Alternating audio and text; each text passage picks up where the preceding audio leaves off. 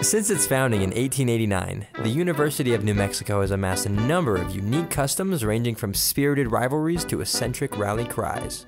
Today, we'll be uncovering the stories behind these time honored rituals, exploring the meaning they hold for Lobos, and celebrating the camaraderie that is built through these shared experiences at UNM. This is the top 5 traditions at the University of New Mexico.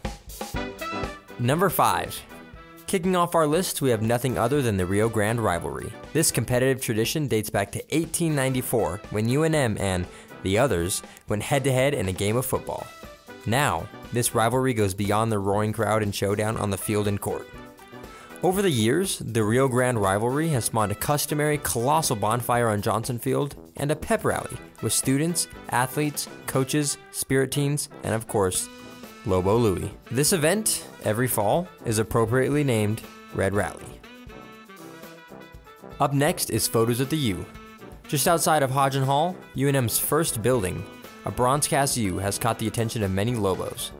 It has become the ideal backdrop for graduation and school spirit photos.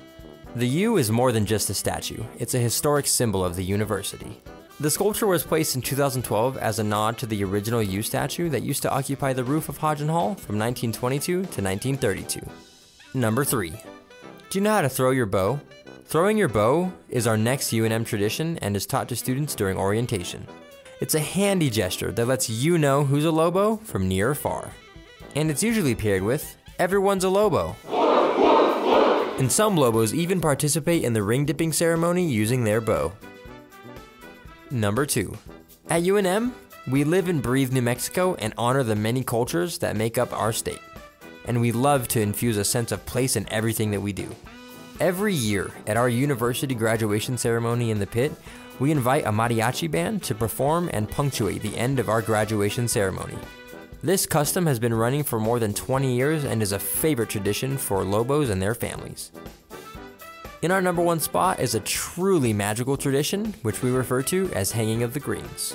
This is the oldest student tradition on campus and is one of the largest public luminaria displays in the state of New Mexico.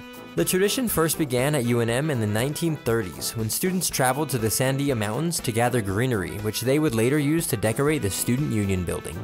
Today, with over 13,000 twinkling luminarias or farolitos adorning campus and a chorus of carolers, there's no better way to embrace the winter season. There are so many traditions that take place during a Lobos time at UNM. What's your favorite tradition? Have you created any of your own?